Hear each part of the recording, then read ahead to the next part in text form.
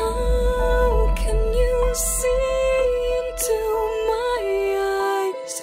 Like open